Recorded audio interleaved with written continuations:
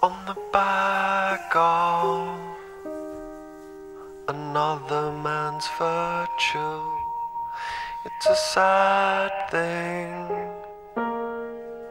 Can't find the words to believe him. Can't say it isn't true. It's a mixed up